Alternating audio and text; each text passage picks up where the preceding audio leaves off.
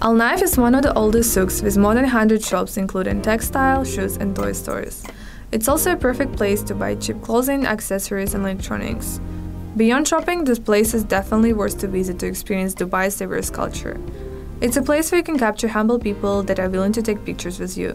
The street is always busy, but especially busy in the evening. Definitely check out this place and bring your camera with you.